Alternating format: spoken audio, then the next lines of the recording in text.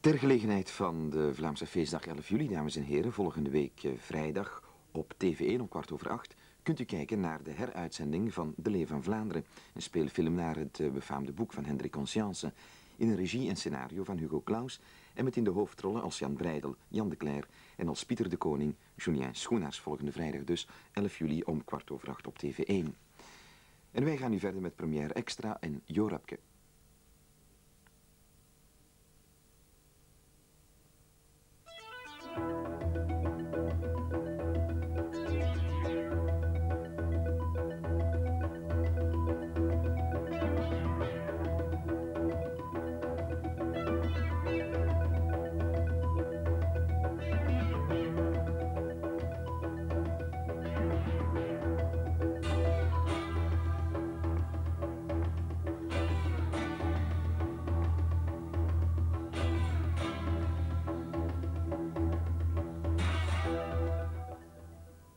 Goedenavond, dames en heren.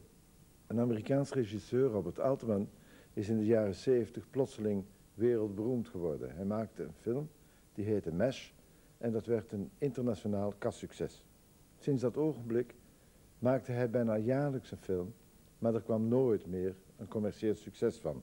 Misschien ligt dat aan het feit dat Altman een bijzonder origineel talent is, maar ook misschien wel een klein...